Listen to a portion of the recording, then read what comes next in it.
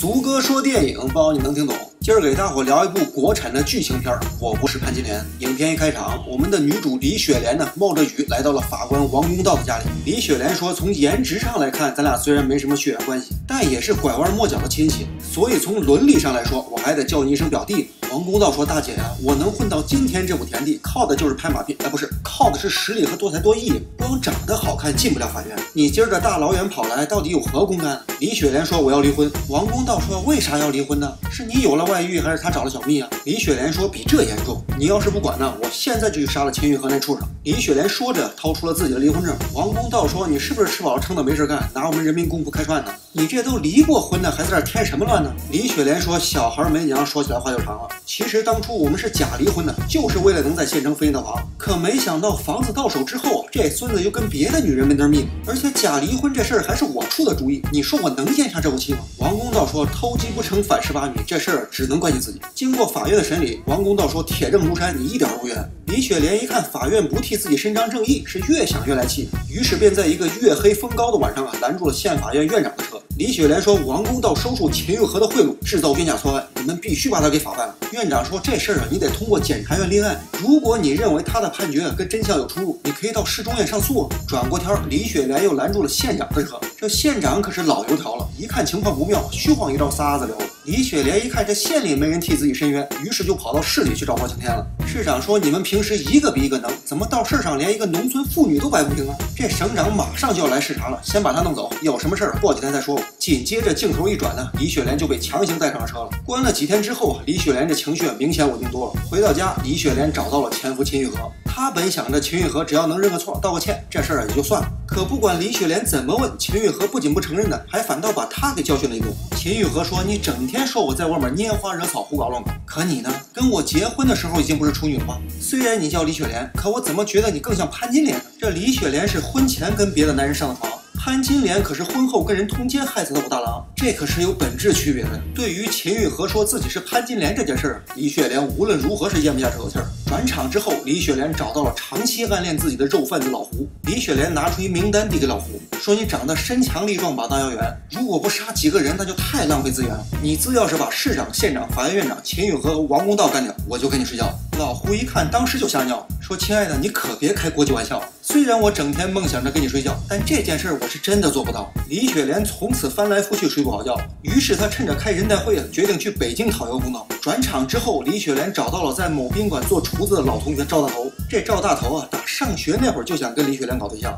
现如今女神主动找上门，激动的他是心惊摇荡，小鹿乱撞。由于李雪莲这件事儿啊被大领导知道了，搞得省长啊非常的被动。省长说，凡是涉及李雪莲这件事的领导干部，全都得追查责任，有一个算一个，都不能放过。转眼十年过去了，因为事情呢一直没有得到解决，李雪莲仍在不停的告状。眼瞅着又要开人代会了，为了防止李雪莲再次进京啊，领导委派王公道去做李雪莲的思想工作。王公道说，从颜值上来看呢，虽然咱俩没有什么血缘关系，但也是拐弯抹角的亲戚。李雪莲说，我知道你当上院长了，全靠拍马屁，哎，不是，全靠你多才多艺。你要是没什么公干的，就甭跟我这添乱了。王公道说，既然大表姐是个急脾气。那我也就小互动感中直来直去了。这再过十几天呢，又要开人代会了。你打算什么时候去告状啊？李雪莲说：“今年我不告，我说到做到。”王公道一听就笑了，说：“因为你这件事啊，市长、县长、法院院长全都撤掉了。你说你今年不告了，这是不是跟我绕呢？”王公道离开李雪莲家之后啊，及时把情况汇报给了县长。县长说：“既然你们觉得这个女人这么难办，那我就亲自去试试看。”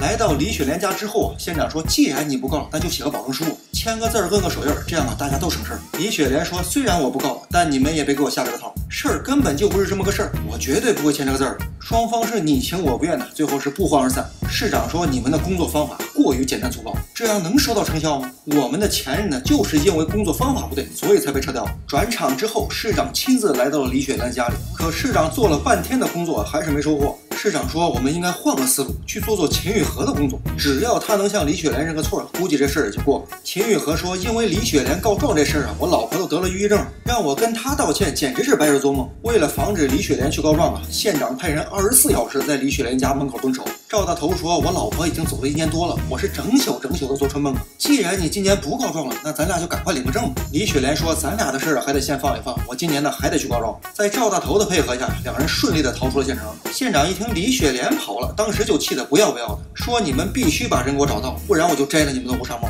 赵大头说：“看目前的情形啊，我们只能昼伏夜行。咱呢，先找个旅店住，等天黑我们再赶路。”可两人刚一走进房间呢，赵大头就开始对李雪莲动手动脚，干柴烈火那还能有好？李雪莲虽然嘴上说着 no no no，但身体却半推半就。完事儿之后，李雪莲说：“大头，你这是强奸，知不知道？不行，我就连你一起告。”赵大头说：“你就说妙不妙？”李雪莲说：“你呀真烦，简直是妙不可言了。”赵大头说：“既然妙，那就别告了。”咱俩呀，干脆回家结婚，然后踏踏实实的过日子得了。李雪莲听从了赵大头的话，两人改变路线去了黄山。这二位游山玩水挺浪漫，县长那边可吃不下饭，他心里非常的清楚，市长说的话可不是在开玩笑。如果这次让李雪莲跑掉，肯定会摘他的乌纱帽。就在县长心烦意乱的时候，法院的厅长贾聪明出现了。贾聪明说：“你看，县长。”通过我给赵大头做工作啊，李雪莲已经成功上当，答应不告状了。目前他俩正在黄山穷浪漫，等回来之后啊，立马就会把事给办了。县长说：“你这美人计使得挺给力啊，你这么做到底图的什么呢？”贾聪明说：“我一直都想进步，可就是没出路了。”县长说：“等这件事结束啊，我一定给你个满意答复。”转场之后，当李雪莲刚回到旅店呢，突然听到赵大头正在跟贾聪明通电话。李雪莲一听，当时就懵了。原来赵大头之所以跟他在一起啊，都是为了给自己儿子的工作转正。他其实啊是被赵大头给利用。李雪莲没到北京就病了。当他在市场里找表弟借钱还医药费的时候，被县长等人守株待兔，当场就摁住。县长说：“我必须告诉你一个突发事件。秦玉和前天开车送货的时候，由于疲劳驾驶，连人带车一起啊掉进长江里领盒饭。”李雪莲一听就懵了，说：“你掉进长江里一死，我算是跳进黄河里也洗不清了。”李雪莲回家之后啊，感觉生无可恋，就打算上吊两盒饭。果东王大白说：“大妹子，你这一蹬腿驾鹤西游了，我可就发愁了。我全靠顾客来这儿采摘挣钱，你吊死在这儿，我的生意可全完了。你要是真想死啊，可以到对面老曹的墓园，他那儿风水好又吉祥，保证让你上天堂。”几年之后，李雪莲在自己的小饭馆里啊，遇到了过去的县长。李雪莲说：“当初说是为了房子假离婚呢，纯属瞎掰。其实啊，我们俩是为了要第二胎。可秦玉和那畜生背信弃义，竟然跟别的女人们儿命，气得我肚子里的孩子也流了产。你说我惨不惨？”我这十几年不停的告状，咽不下这口气儿倒是其次，主要是为了我那个未成型的孩子呀。看完这整部影片呢，我们还是来首唐诗压惊吧。没事别玩假离婚，搞不好就当了真。偷鸡不成蚀把米，奉劝大家长点心。